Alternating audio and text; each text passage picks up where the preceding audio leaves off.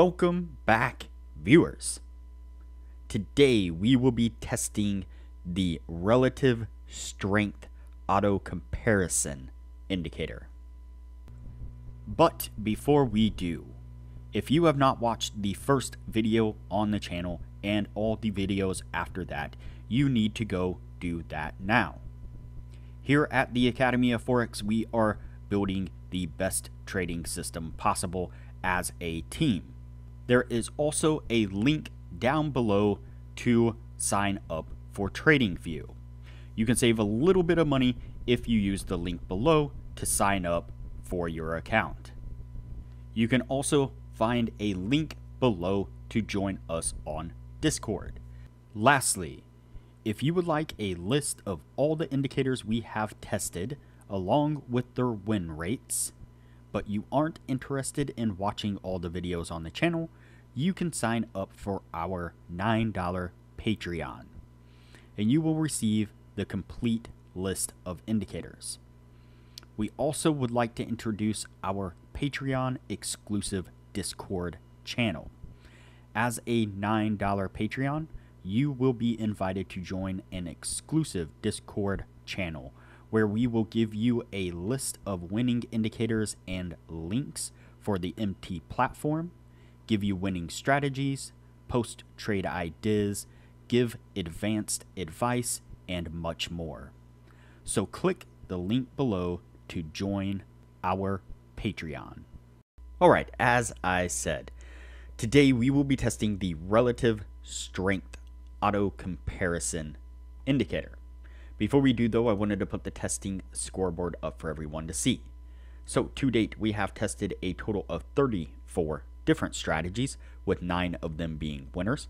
We have also tested a total of 437 indicators, with 181 of them being winners.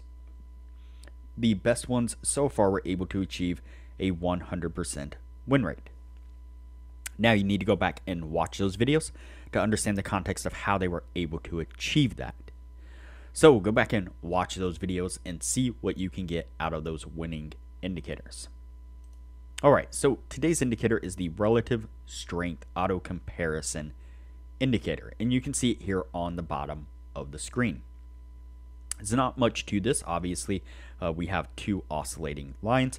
And what we are going to do is like with most indicators like this is when the faster of the two oscillating lines crosses the slower, either to the downside, we will go short, or the upside, we will go long. So let me go in and just make one change here. Let's see. Let's change that one. These colors are really close to each other.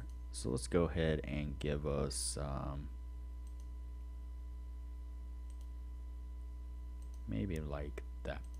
Let's bump up these weights just a little bit. Change the colors so that way they stand out just a tad bit more. All right, so when the red line crosses down below the purple line, then we will go short. When it crosses up above the purple line, we will go long. A pretty simple setup. Let's go ahead and get on with the testing and see what we can get out of this.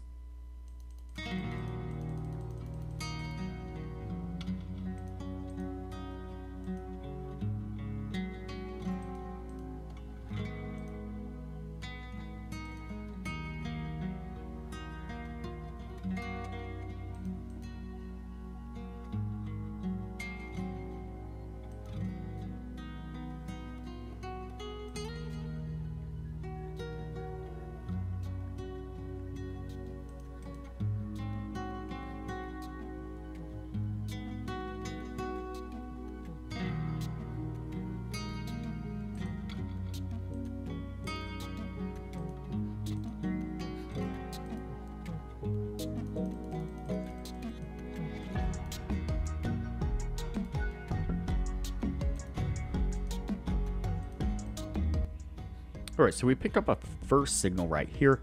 It was a long signal.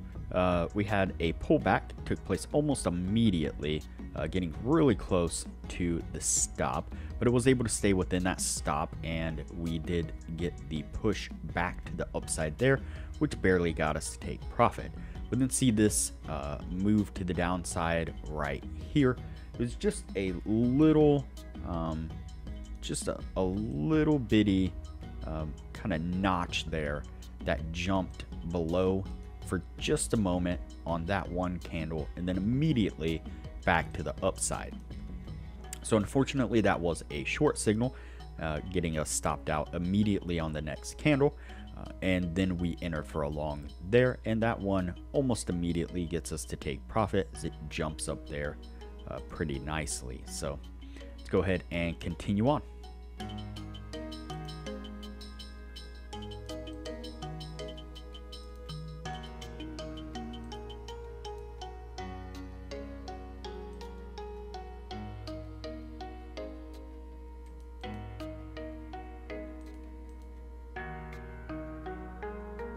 So then we pick up the short right here. Uh, this one just barely, yep, just barely gets us the take profit on this little red candle right here. And then pretty much um, right after, let's see, 54, not on that one, but on that candle right there, it then gives us a long signal. But then that one's going to get stopped out uh, pretty quickly as we switch for a short right there. So what I'm going to do is go ahead and fast forward the video here. That way things will get too long and we will pick this up when we are at the end of the year.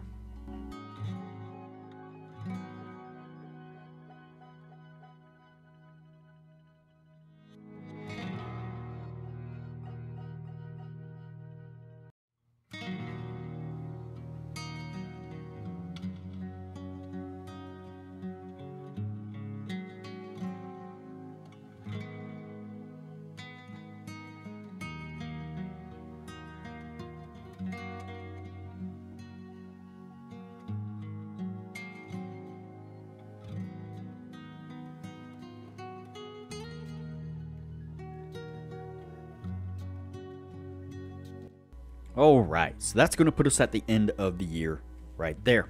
Before we add these up, now would be a good time to say that if you are interested in excelling your trading knowledge, highly recommend that you join our Patreon only channel on our Discord server. You can find a link to our Patreon down below as well as a link to our Discord. Once you sign up as a patron, it'll give you access to the Patreon only channel where we post some really great advanced information about trading strategies, trading indicators, trading philosophy, in general, our admin Jay and regular members post almost everyday market analysis where they put up screenshots of charts where they've marked out areas of support and resistance on multiple different time frames, indicators that they're using, exactly where they're entering trades, exiting trades, taking profits, the whole deal. They're growing small accounts really quickly with the information that they're putting out for everyone to see, and the patrons love being able to follow along with those trades in their own accounts. Uh, as I mentioned in the beginning of the video, you'll get access to the full list of indicators that we have tested.